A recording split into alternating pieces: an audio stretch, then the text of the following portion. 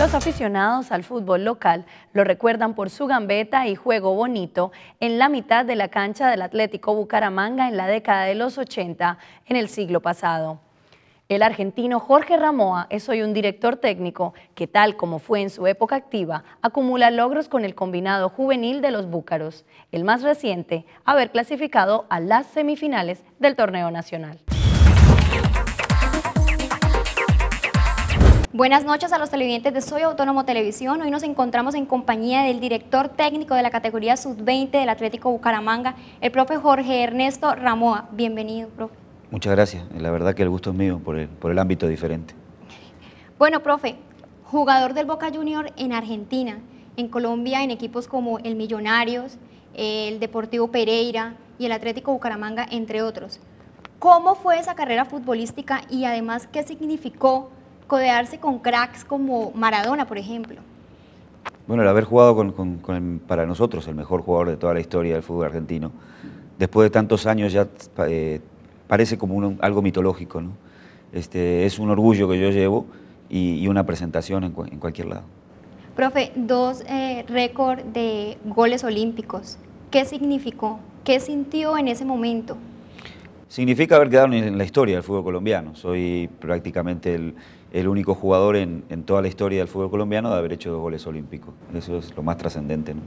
¿Cuándo, o sea, después de tan larga trayectoria como futbolista, en qué momento decide parar, poner un stand-by ahí y decir, no, voy a ahora dedicarme a enseñar lo que sé? Yo fui jugador profesional durante 18 años y cuando uno se va acercando al final va notando eh, las deficiencias físicas que lo obligan a uno a dejar este, este apasionante deporte para nosotros.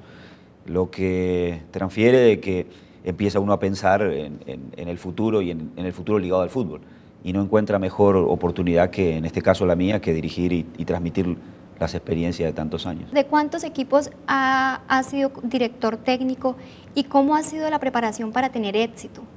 Yo tengo 14 años ya como entrenador. Eh, el éxito es el, poder transmitir a los jugadores la, experiencia. Todos los que hemos jugado sabemos de fútbol.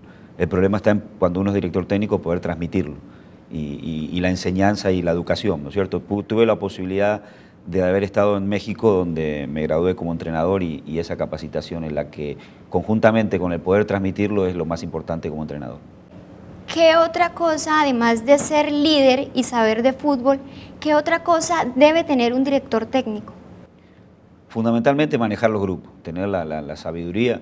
Hoy día eh, no, como le digo, transmitir lo que uno sabe, pero también el manejo, el manejo de grupo, la psicología grupal, de, manejar profesionales, de manejar jóvenes con ambiciones de ser jugadores profesionales, con, el, con lo del divismo que tienen hoy los jugadores profesionales, que tanto dinero ganan, saber manejar esas situaciones es, es lo más importante.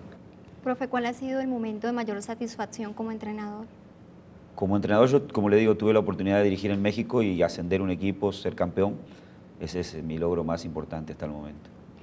En cuanto a la profesional, ¿alguna meta que tenga a corto o largo plazo? Eh, a corto plazo creo que nosotros, eh, si bien es difícil que decir que vamos a ser campeones, pero sí vamos a estar, aspiro yo en las finales. Y a largo plazo, obviamente, un, sueño que no solo yo tengo, sino que la oportunidad que tuve de dirigir el equipo profesional hace dos semanas, eh, es un sueño que, no solo mío, sino de mucha gente, de que algún día pueda ser en propiedad al técnico del Atlético Bucaramanga. Bien, profe, ¿qué consejo le da a los niños y jóvenes de este país que sueñan con llegar a, formar parte de algún grupo profesional, además teniendo en cuenta que en este país es difícil poder entrar a estos grupos, a ser parte de estos grupos? Con capacidad técnica no es tan difícil entrar, ¿no es cierto? Que es lo fundamental.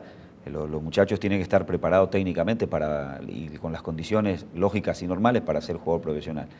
De ahí en adelante lo difícil es mantenerse y ahí es donde vienen los, eh, los consejos, normalmente que son eh, ser, ser eh, trabajador, ser disciplinado, tener una disciplina física fundamental y por último este, también que los jugadores tengan una capacidad de ver el fútbol de, otra forma a través de la capacitación, del estudio, de la educación. Profe, para finalizar y en una sola palabra, ¿un jugador?